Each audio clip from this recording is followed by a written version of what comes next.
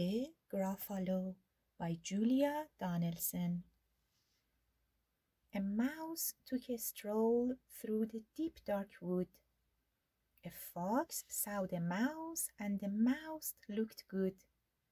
Where are you going to, little brown mouse? Come and have lunch in my underground house. It's terribly kind of you, fox, but no, I'm going to have lunch with a gruffalo. A gruffalo? What's a gruffalo? A gruffalo? Why, didn't you know? It has terrible tusks and terrible claws and terrible teeth in his terrible jaws. Where are you meeting him? Here, by these rocks and his favorite food is roasted fox. Roasted fox? I'm off, Fox said. Goodbye, little mouse. And away he sped. Silly old fox, doesn't he know? There is no such thing as a gruffalo. On went the mouse through the deep dark wood. An owl saw the mouse, and the mouse looked good. Where are you going to, little brown mouse? Come and have tea in my tree-top house. It's frightfully nice of you, owl, but no. I'm going to have tea with a gruffalo. A gruffalo? What's a gruffalo? A Gruffalo? Why? Didn't you know? He has knobbly knees and turned out toes and a poisonous wart at the end of his nose. Where are you meeting him? Here, by this stream, and his favorite food is owl ice cream. Owl ice cream? Tweet-hoo! Goodbye, little mouse. And away Owl flew. Silly old owl, doesn't he know there is no such thing as a gruffalo? On went the mouse through the deep dark wood. Snake saw the mouse, and the mouse looked good. Where are you going to, little brown mouse? Come for a feast in my log pile house. It's wonderfully good of you, Snake. But no, I'm having a feast with a gruffalo. A gruffalo? What's a gruffalo. A gruffalo. Why? Didn't you know? His eyes are orange. His tongue is black. He has purple prickles all over his back. Where are you meeting him?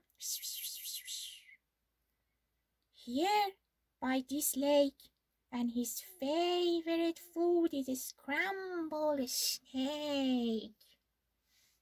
Scrambled snake? It's time I hit.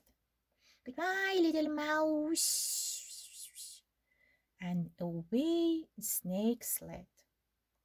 Silly old snake, doesn't he know there's no such thing as a gruffalo?